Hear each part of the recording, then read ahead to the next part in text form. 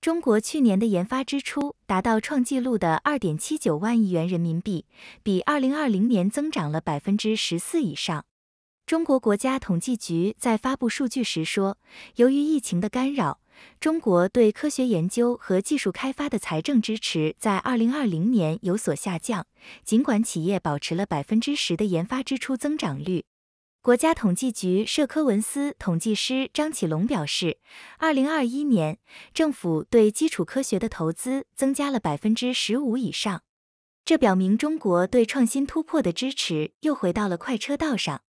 在周三发表的一份报告中，张启龙表示，获得最大支持的领域包括太空探索、核物理、量子科学和生物工程。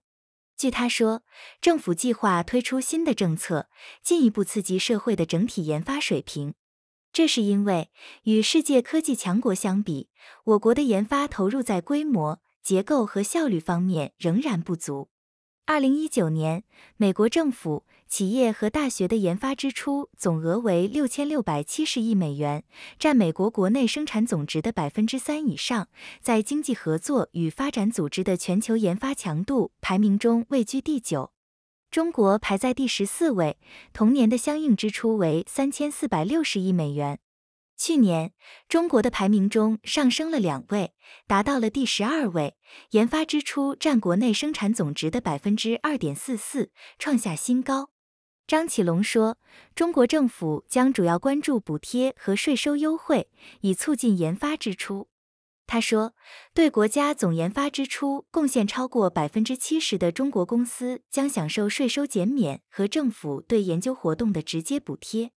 去年发表在国内同行评议的《商业与经济杂志》上的一项研究发现，政府补贴诱发的中国上市公司的研发投资是其六倍以上。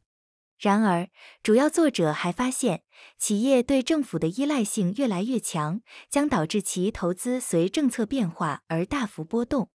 现在关注编辑实验室，与全球最新的财经信息保持同步。